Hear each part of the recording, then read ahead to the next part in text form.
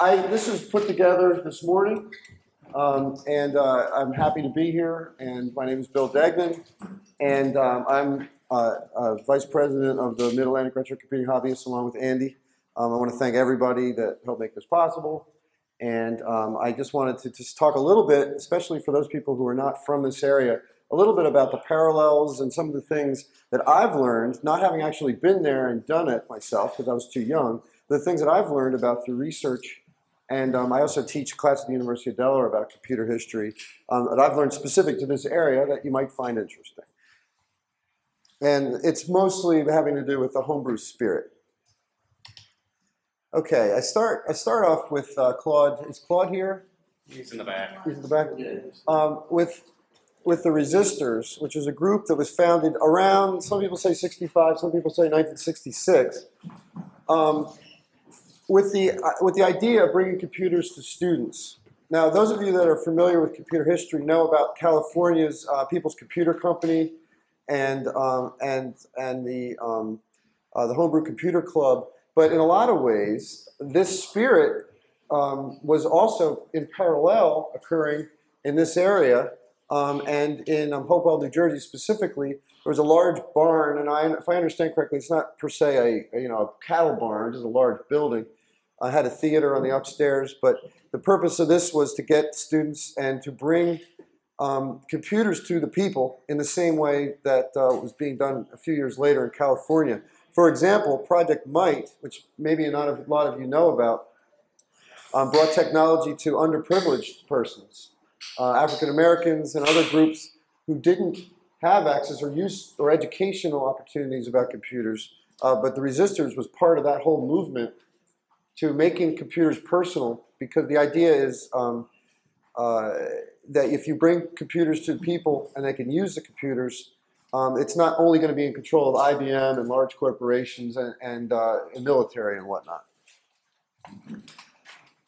The, um, the Radio Electronics magazine, uh, Mark 8, in a lot of ways, launched what was already a, a consolidating movement. And, and this, of course, um, you, would, you would send away for this kit in 1974. Um, Jonathan Titus developed, and in Radio City uh, Station, New York City, is where you would actually send away for the kit instructions so that you could build your own computer. This is in New York City. This is something also happening in the East Coast. I just essentially the theme here is, as I'm pointing out. Yes, question? John Titus is still around, Yes. He lives in the town adjacent to mine, I haven't been able to get in touch with him. But he is now a, um, an editor, Yeah, Evan, Evan used to work for him for a while. so he's, uh, he's still in it. Yeah, yeah. But that's, that's definitely something that was uh, not out in the West Coast. Not that I'm against the West Coast, of course. Uh, another another uh, important group was the Amateur Computer uh, Group of New Jersey, still in existence, founded by Sol Libes, who I believe has done uh, spoke at um, 2006 or 2007, but he is still um, involved in the group based based in Scotch Plains, community workshop involvement. Again, this concept of um, at the time forming a group that would take like-minded engineers. We're not talking about people who want to learn how to use Excel. We're talking about engineers who wanted to use computer, who wanted to build a computer, who also wanted to just build computing devices, uh, calculating uh, things that would make jobs easier, make uh, like ham radio and so forth easier. It wasn't like people in 1975 um, were necessarily uh, getting together and saying, let's build a computer and an operating system and we're going to put a word processor on it. This was before all that. But there were groups of like-minded persons getting together to help bootstrap each other and, and, and teach each other those little pieces that would get a little farther and a little farther. Maybe one person would have a Mark 8 kit and would want to show others who may have um, uh, just gotten started with the product to actually put things together. So again, very important group in New Jersey starting in 1975. Of course, the Altair uh, was, a, was another uh, impetus to things like this. 1975, uh, computer stores uh, started popping up in this part of the country, and two that I know of um, in this uh, within a few hundred mile radius were Larry Stein's Computer Mart um, in Woodbridge Township, and Robert Radcliffe's Hoboken Computer Works um, in Hoboken. And I understand that Larry uh, actually went public by 1986 with this and um, made a lot of money. And so that's just to, to give you some background that it was parallel to the bites and the other things going on in California. These were some of the, uh, the big names in uh, the mid 70s. I, I, this next, this next uh, slide is an illustration not of um, the, the Southern California Computing Society's interface uh, per se, but to illustrate the point that a lot of people might not know that um, in creative computing, you might, uh, it's kind of ironic, but, but this quote that I found um, from uh, David Ahl, I think that you want to know where the most important areas in the country for members of microcomputer activities. I'd say Philadelphia. It's not California, it's Philadelphia. So in September, October of 1976, the largest outside of Southern California group of the SCCS was in this area. And specifically, um, it helped to launch the, uh, the Philadelphia Area Computer Society and some other places. But it's just very interesting that, uh, that there was so much enthusiasm for computing. You've got some, you know, you've got an outgrowth of, of, of, of a group that was uh, in Southern California, which, if you go deeper into this story, in some ways, this group was kind of different than the Homebrew Computing Club. This would have been more of the corporate. This was definitely more of the looking bigger picture group from the Southern California area. Um, and it's interesting that they're the ones that, that um, probably did the outreach to and met with those people in New Jersey had similar thoughts. But this is there's definitely a connection. This is the oldest ad that I could find for the uh, New Jersey Computer Festival, and it's from Dr. Dobbs' journal in March 1976. Um, the, uh, the persons who were responsible for this, uh, Dr. Allen Katz and um, Sol Libes, couldn't afford or and or didn't pay for an April um, advertisement that I could see in Dr. Dobbs. But this is the the uh, the advertisement that appeared in Dr. Dobbs' journal for the New Jersey Computer Festival, which to date is the longest um, running computer show of its kind. So you, can see May 2nd. And here's another slide for the Trenton Computer Festival. You can see uh, May 2nd, uh, so it was only a one day event.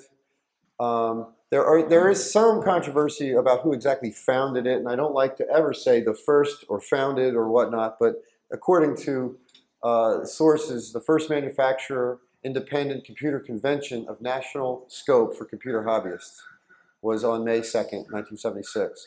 There were only 45 exhibitors, but you had MITS, IMSAI, Processor Tech, um, Ohio Scientific, SWTPC, Cromemco, uh, the digital group, and so forth uh, at, in attendance. So this was, this was definitely uh, a national uh, uh, convention. Uh, and so, and by looking at those names, you can see a number of them came from California, probably for the first time, to a show in uh, the East Coast. Attendance of 1,500, and also this ushered in the beginnings of the outdoor flea market, which is still popular today, uh, a ham fest for computers and components. That's what they were calling it. So the reason that you, you see these kinds of things, and uh, unfortunately I don't have enough time to talk about it, is that at the time, um, people weren't going there to buy a computer per se. They were buying, they were going there because they could only afford what they could afford, and so they were looking for parts and pieces and old teletypes and whatever they could find, and that's what made the the the uh, the indoor area of the actual vendors for the dream machine that you would love to own, that you maybe could afford to get the, the bare component computer system. Then you would go to the Hamfest to find a teletype or the wires or the componentry and whatever, so that you could actually go to your club somewhere and work with your team of engineers to actually build a working computer system, which at the time, of course, might only have 4K in it. Um, and uh, it, was, it was a different spirit than, than you would have today. And it's an important thing that I want to illustrate that this was happening in Trenton, not just in California. Um, and I'm sure it was happening in many other parts of the world, other the country as well. The Philadelphia Area Computer Society started right after uh, the uh, Trenton uh, Computer Fair. Um, there were probably the persons were probably from like Dick Moberg and whatnot were probably at the Trenton. They probably rushed right home and immediately started the Philadelphia area group. I, I don't think the first festivals were in Trenton. In fact, one of the first ones was in, in Atlantic City. Now that comes up another two months. But good point. You're helping me on the next slide. Um, so the Philadelphia Area Computer Society. So now we've got we've got the South Jersey group. We've got the Philadelphia Area group. Um, first, PACS members were generally engineers and ham radio operators, similar to the uh, the uh, New Jersey group. Uh, maybe even more so, uh, less education oriented. Uh, engineers using microprocessor not as a computer, but as a simple electronic controller, replacing dozens of discrete components. There were no special interest groups, which I'll explain later. Just one main meeting centered around building a computer and sharing hardware. Yesterday, when I did the demonstration of the um, the Altair playing uh, the music on the radio, that would have been the, the kind of uh, scene that you would have had where you had one person in the front um, getting their Altair ready and everybody would be there. And it would be very exciting for them because maybe only three or four of them would actually have had a working computer and the rest were just seeing what you could potentially do with it. It was a, it was a time for inspiration. It was a time for imagination and um, uh, sharing of ideas together, not so much as special interest groups. This is just an example of a system's capabilities from 1976. The reason that I put this and not the 75 uh, Altair is that that had already been put out. This is the kind of thing that would have been on the show floor at the Trenton Computer Fair in 1976 in the, early uh, summer, spring. See the capabilities, uh, uh, 2 megahertz, um, 8 data bits, and so forth. This, this actual computer is in the, um, in the exhibit room, if you want to take a look at it. Okay, then the PC76. You can see this is the advertisement for that. Very similar. Um, this was the first Mid-Atlantic trade show. Slightly different, you know, and again, I don't like using first. So this was a trade show that had a lot of first things occurring in it. I believe um, Apple was at this. I believe uh, a number of other persons that I've spoken with told me um, you know, the, the, the, your classic vendors were there, Processor Technologies and MITS and whatnot. There's the actual advertisement. There's a large-sized version of this ad in our computer museum, as are these computers. But these are the kind of things you would have bought if you were there and not been able to afford. Um, here's an interesting uh, slide. This is a computer that I'm sure a lot of you in this room have never heard of before, although if you have, I'd love to hear more about it. But this is an example of the kind of training and, and teaching and, and uh, uh, computer systems that were being built by these homebrew clubs in our area. This one's specific to the Philadelphia Area Computer Society. It's called the DATAC 1000. And this actually appeared in Byte magazine of July 1977, although it was built earlier. This is just an example of a trainer. This is the kind of thing that a contributor, in this case, um, Carmen DiCamillo and, and, and Roland James, built a company around it after they built this. But what they did is they, they, they built a homebrew system and then they kind of consolidated it, made a kit, you know, assembled the parts so that persons that were interested in making their own computer would have a head start. And this is the kind of thing that was coming out of the Philadelphia area. 6502 was the processor. And MOS Technologies, which was based in Norristown, uh, uh, Pennsylvania, which is near Philadelphia, is kind of our our home team uh, company in the early homebrew computing days. The 6502 processor, uh, we're all familiar with that here in this group. Um, there's a gentleman named Will Matthews who was from MOS who would go to clubs like the Philadelphia Area Computer Society and I'm sure other groups to provide chips that maybe weren't perfect but were some, the kind of thing that would give uh, persons like the DATAC group and other groups a chip that they could kind of build a computer around. That would have been a very exciting thing um, to get an actual microprocessor. And it were persons like this that were making it possible and knowing the, the value of these groups and providing uh, these, uh, these parts at a lower rate, knowing that these were the people who were going to find ways to use this stuff and then it was going to help make an industry that MOS was going to profit from. So it was definitely a symbiotic kind of a thing. So as we got as we emerge into 1977, as we know here, the, the homebrew clubs began to splinter into specialty groups. At first around processors, 6800, uh, the 6502, the 8080, 8008 was still popular in 1977. And then, there, then the application specialty groups emerged at this time. Um, PACS or, and other groups uh, began uh, official involvement in the uh, Trenton Computer Festival, uh, along with the IEEE Society in Princeton, 1977. Uh, so you're starting to see a more of a, within a year, PACS was starting to merge uh, with the uh, Calif- uh, with the um, with the New Jersey, and it was starting to have enough of its own momentum where it was probably the uh, Southern California Computer Society was probably having less of an influence, less an involvement. It wasn't necessary anymore. Uh, in 1977, uh, although you have your appliance computers like the TRS-80 Model 1, the Commodore PET, um, you also would still have persons at this time using teletypes and cassette in, in, uh, because they wouldn't have been able to afford the computer systems. So definitely teletype and cassette were definitely the most popular storage in 1977.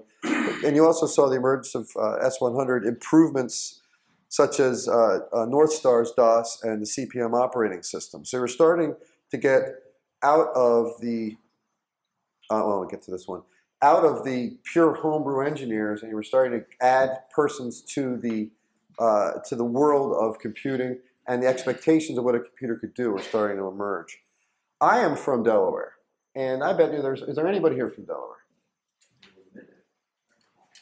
For whatever reason, Delaware like pretended nothing was going on, I suppose. But I, I wanted to at least state for the state, if I if I must, that there was a computer company. After extre- extraneous research, I found that in Newark, Delaware, probably at the University of Delaware, the Versatile 2 by Computer Data Systems was made available in 1977. It was an S100 system, and it was a, it was a all-in-one type system. When you would purchase it, you put it on the table and turn it on. It would have everything that you needed to um, to you know use the computer right away. Uh, Project Delta out of the University of Delaware um, was similar to Resistors in that it was providing uh, PDP computing um, opportunities to students and that was based out of Delaware. Plato was a very popular uh, computer system predating bulletin boards that was very popular at the University of Delaware. And of course, I used to work at IBM in my very early days before this, but and I remember when I worked at DuPont also, as I kind of bounced around as a consultant in my, my earliest days, IBM would pull the, the 18 wheeler up, open it up, and DuPont would just take whatever was in there and just put it on everybody's desk. And that was, in a lot of ways, what was going on in Delaware at the time. It wasn't the homebrewing wasn't really happening so much, but it was the money that was involved with DuPont and ICI and all the banks, because Delaware is a corporate center where the early adoption of computing um, was happening in the um, in the corporate world. You would have seen computers on desks earlier in, in a Delaware office than many other parts of the country. And what this eventually led to was the depreciation of these assets and then them showing up for sale in flea markets and whatnot in Delaware. And, and uh, to this day, that one of the best flea markets in, Del- in, in the country is in Delaware, in Newcastle County. And that you can still, if you dig with a shovel, you'll still find IBM PCs, you know, just basically in the dirt that you can pull out, turn on, and start up again. But that there are so many IBM PCs and, and those kind of systems in Delaware I must have a stack of them, you know, as, as tall as I am. They were free, essentially. So a lot of people, although they didn't necessarily start using computers um, themselves in Delaware, other than at the University of Delaware, which did have a strong computer science department, the seeds of the, just the pure uh, volume of computing that would be available were, was happening in Delaware at that time. Okay, so 1978, I thought I'd, I'd dig up a, an interesting computer company. How many of you have heard of Xitan, or, or X-I-T-A-N, however you want to pronounce that, a New Jersey company? They almost made it nationally, uh, but this is definitely a New Jersey homebrew or home, home, home team company who made an excellent computer system. Um, and I just thought I'd illustrate that there were companies who were trying to, to launch and make something happen in New Jersey. And this is one of the premier companies from New Jersey, from that mid uh, to late uh, uh, S100 world. Uh, you can see in 78 you have uh, new members wanting to jump in with working systems, um, package software. More special SIGs or special interest groups were forming um, to uh, I have a computer now, what do I do with it? These were not people who wanted to take it apart and learn about it. They wanted to be told you know, where do I get software how do I use my computer system? Uh, PC78, which was in Atlantic City, moves to the Philadelphia uh, Civic Center. It needed a bigger venue.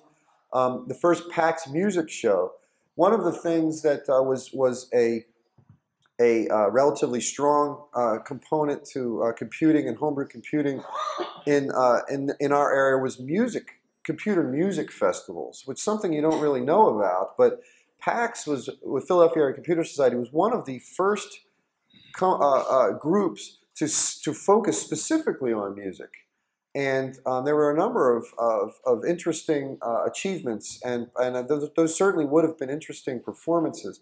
Computer music, what I mean by that, isn't necessarily just 8-bit music, but concepts such as randomness put into computers, the the concept of of atonality, the ability to um, allow the computer to set scales and do calculations and things that wouldn't, wouldn't be possible because instruments uh, were fixed to the 12 note scale. So computers were opening up new types of music that weren't possible. Started in the 60s, but now by, by 1978, Philadelphia had very much embraced the music concept and the computer music concept. And I, I don't know if anybody here had actually been to any of those shows, but I certainly would have liked to have been there, being a musician myself.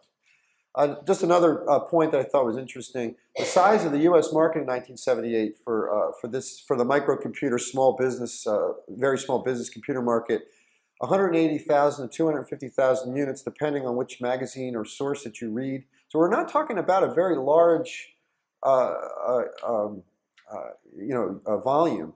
Uh, 15,000 pets were sold, between 8 to 20,000 TRS-80s, between 13 and 27,000 Apple II. And the rest, 75 to 100,000 for everybody else. So this is still a homebrew era. This is still people in some small town somewhere all over the country building a computer system, advertising it locally in yellow pages, and, um, and, and installing them in people's uh, small businesses in their homes or in, shows like the Trent Computer Fest. There's just a picture there of Apple II. The, uh, the, the Apple II disk drive was uh, a revolution for persons that needed a, an affordable disk drive. I'm sure you all know the story of that. 1979, appliance computer users now outnumber the original hardware hackers. Focus and migrate from platform-specific software. The main meeting is still a center of interest at these computer groups. But there were many new special interest groups: Ohio Scientific, TRS-80, PET, Starship Graphics, uh, which is a Philadelphia area computer special interest group, CPM, the operating system, Pascal, and computer education uh, and, and computer aided uh, instruction, what CAI stands for. So now, talking three or four years, but we're talking the difference between groups that want to get together just to make the computer work, to groups who want to specifically work on their hardware or their interests or their operating system. Three years, four years is all, all the difference there was.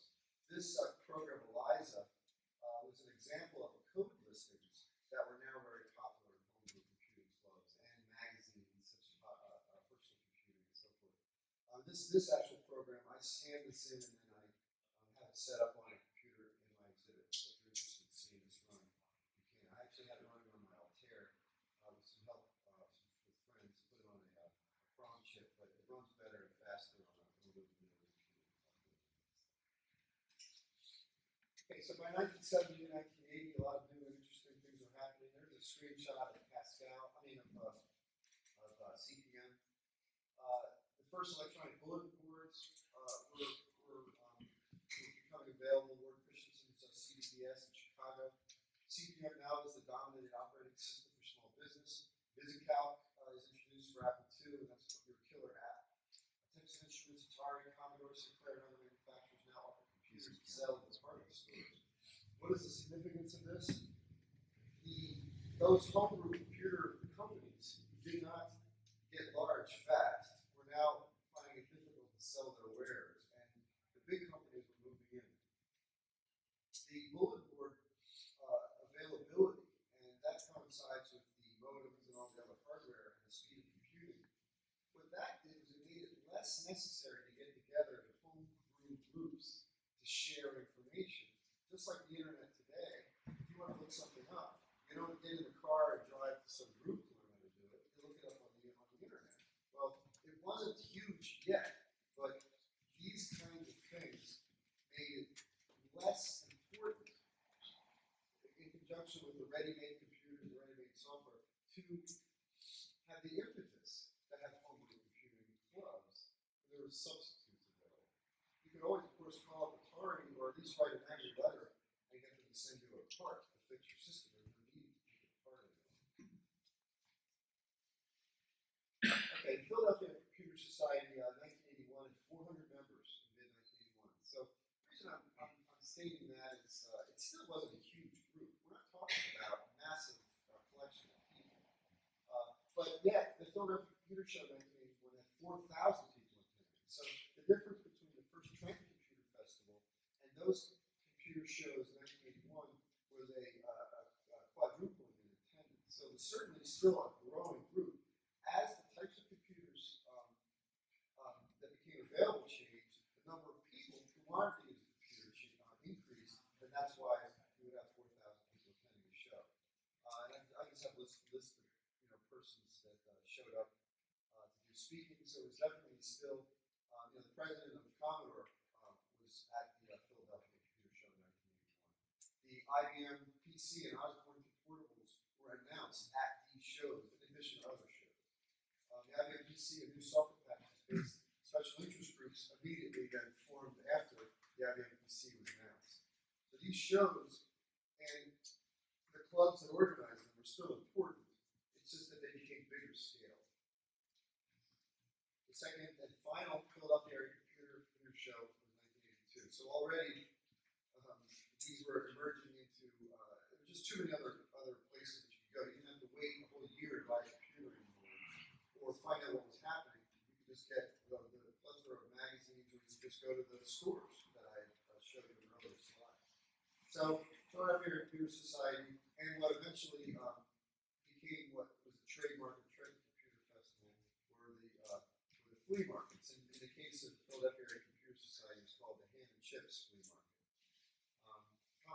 4 came out in 83. The Apple Lisa came out in 1983. The Franklin Ace, which is a company in New Jersey, the Franklin Corporation, came out, which is a clone of the Apple. And of course, the new class of computers, laptops, opening again the market to new, uh, new types of users. You can see the GRiD Compass, Franklin Ace, the NVIDIA TRS-80 Model 100, the Apple Lisa, and the Commodore 64. So in the, in the span of seven years, computing that was only available to those who could build it themselves from a chip to a computer that would show up in your mailbox, or that you could get at Macy's or JCPenney or, or, or uh, any of the Sears and so on, in a box that looked like it was uh, you know marketed to millions of people. So I end with the was was the Apple Lisa still part of the homebrew spirit? And my answer is no. At this point, we there's nothing wrong with homebrew computing. Um, the Mid Atlantic Electric Computing Hobbyists, you know, tries to maintain that spirit. It isn't that people stopped going to clubs and joining it. It's just that there was more going on, and the golden era, so to speak, I think, could be bookmarked in 1983 um, when products like the Apple Lisa and the Commodore 64 came out. And uh, you can see 5 megahertz clock speed, the 68,000 machine um, uh, machine language compiled from a high-level Pascal source. Much, much different types of operating system, much different types of, of uh, reliability, um, storage, uh, complete systems, and uh, markets. So that's that's the end of my talk. But I certainly